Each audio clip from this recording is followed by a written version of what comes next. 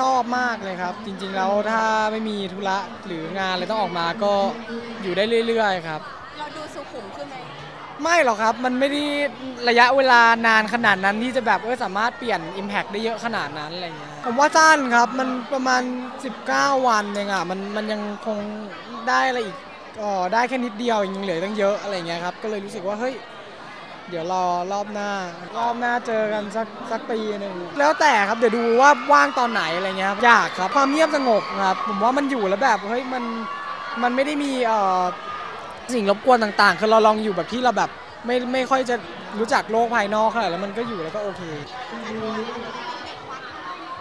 อ๋อไปมาครับ ก็รู้สึกว่าเฮ้ยก็ก็ไปแล้วก็โอเคฮะเราได้ทำอะไรที่แบบเป็นประโยชน์ส่วนใหญ่ไปบินทบาทตอนเช้าไปช่วยถือของครับเพราะว่าตอนเราไปบินทบาทเองรู้สึกว่า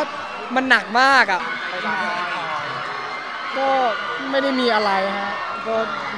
ไม่จำเป็นต้องดามอะไรคือจริง ๆ ความสนิทก็สนิทครับ เพราะฉะนั้นมันเลยแบบเออถูกมองเป็นอย่างนี้ก็คงไม่แปลกปกติอยู่แล้วอะครับก็เหมือนเดิมมันไม่มีทางหนี้ได้หรอกครับ เพราะว่าระยะเวลาที่รู้จักกันมาก็รู้จักกันมากหลายปีแล้วอะฮะตั้งแต่ผมยังยังเด็กกว่านี้อยู่อะเยอะแล้วก็ มันก็เลยถูกแบบเออถูกมองแบบเออก็เป็นพี่สาวเรามาตั้งนานแล้ว ไม่อะครับ ในเรื่องที่แบบถ้ามันไม่มีรายละเอียดอะไรก็ก็ไม่จำเป็นต้องคุยเออถ้ามันไม่มีอะไรเลยก็ก็ไม่ต้องพูดก็ได้มันก็ปล่อยผ่านก็ดีกว่า เราเรารู้เรารู้ตัวตั้งแต่แรกแล้วว่าเฮ้ยเรื่องบางเรื่อง